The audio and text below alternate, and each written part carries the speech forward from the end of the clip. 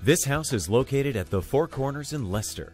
The backyard is open with nice exposure, good soils, and certainly enough space for animals.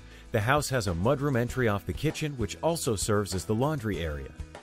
Bright open living spaces and a nice covered side porch to easily access the backyard.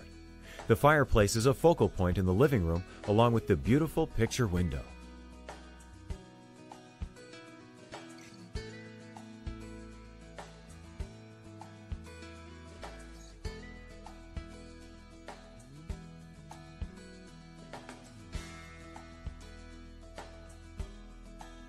Text H7405 to 51004 for current information.